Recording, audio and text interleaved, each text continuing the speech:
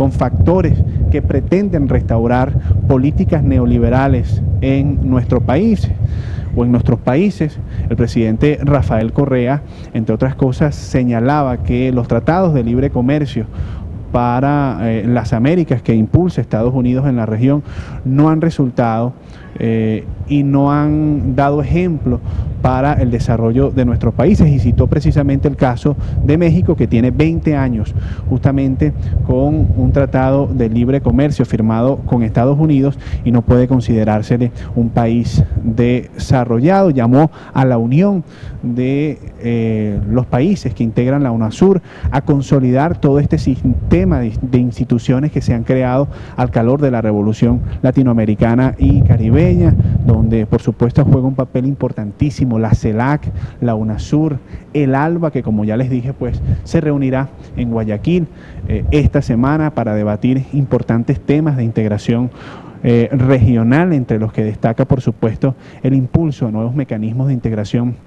comercial latinoamericana, como por ejemplo el Sucre, que como saben es una moneda virtual creada por la Alianza Bolivariana para los Pueblos de América, justamente para facilitar el comercio entre las naciones que integran este importante eh, grupo. Esta creación heroica, la ALBA, la Alianza Bolivariana para los Pueblos de eh, América. Ante estas circunstancias de nuevas dificultades y del tamaño que fueren, la respuesta de todas y de todos los patriotas es unidad, lucha, batalla y victorias, palabras de nuestro comandante supremo el 8 de diciembre del el año eh, pasado. Ambos mandatarios,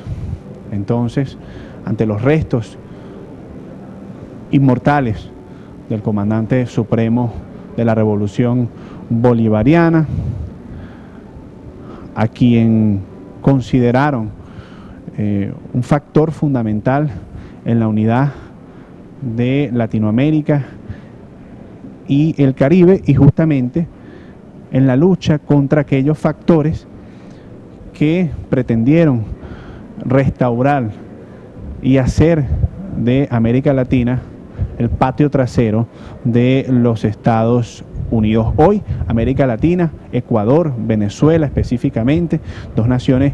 que caminan con sus propios pies sobre la base de la soberanía, sobre la base de la independencia, sobre la base de la integración latinoamericana y caribeña, por supuesto, sobre la base de la dignidad de nuestros pueblos históricamente pisoteados por la bota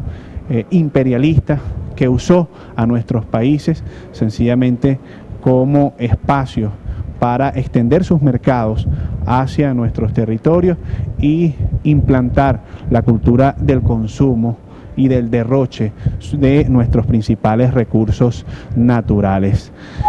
obras importantísimas que se deben en gran medida a ese gran impulso. Recordemos que Hugo Chávez llegó a la presidencia en el año 1998 y empezó una oleada de movimientos y colectivos sociales eh, a partir de ese momento en toda Latinoamérica, que incluyó por supuesto eh, el giro a la izquierda de importantes países como Brasil, como Argentina, eh, por supuesto eh, Bolivia, Ecuador, con Rafael Correa a la cabeza, eh, además de Uruguay y otros importantes países de la región que hoy hacen de nuestro país y de América Latina un continente que puede caminar con sus propios pies, un continente que se ha levantado y que hoy juega un papel fundamental en lo que respecta al desarrollo geopolítico a escala internacional. Un continente que está apostando justamente a ser una potencia una potencia desarrollada en distintos ámbitos de integración, en el ámbito energético, en el ámbito eh, comercial. Por supuesto, bueno, Venezuela asumió la presidencia pro tempore de em, el Mercosur, un espacio eh, de integración económica y comercial al que Bolivia y Ecuador también aspiran sumarse en los próximos meses.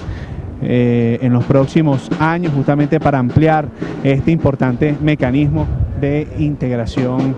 eh, latinoamericana, de integración eh, comercial que ha surgido además para hacerle frente a la Alianza del Pacífico, integrada por países como Colombia, como Perú y como México, que entre otras cosas pues busca restaurar en el continente los llamados tratados de libre comercio para las Américas, que como ustedes saben quedaron enterrados en la cumbre de Mar del Plata en el año 2005, justamente por el comandante supremo de la Revolución eh, Bolivariana, en aquella histórica eh, cumbre en la que participó el líder de la Revolución Bolivariana, entre otros, por supuesto, Néstor Kirchner, también eh, un baluarte importante en el proceso de integración latinoamericana que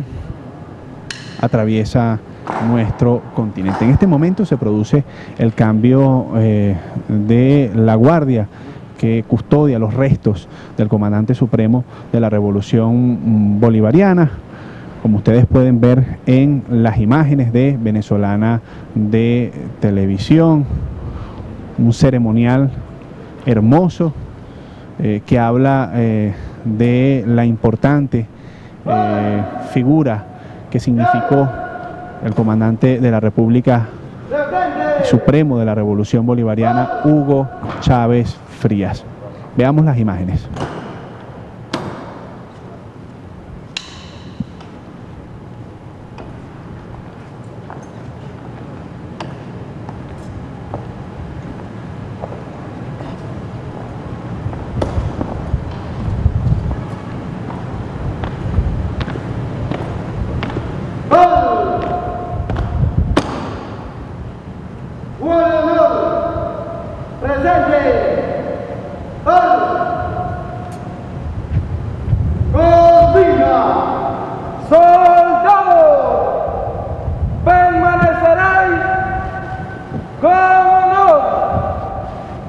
dignidad en el remanso del comandante supremo rindiendo homenaje de infinito agradecimiento al libertador de nuevos tiempos,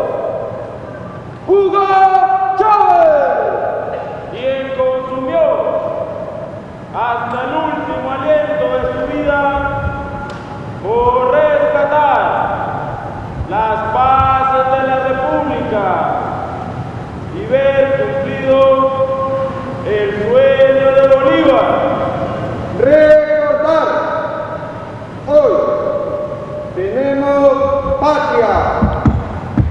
pase lo que pase, en cualquier circunstancia, seguiremos teniendo patria, patria perpetua, patria para siempre, patria para nuestros hijos, patria para nuestras hijas, patria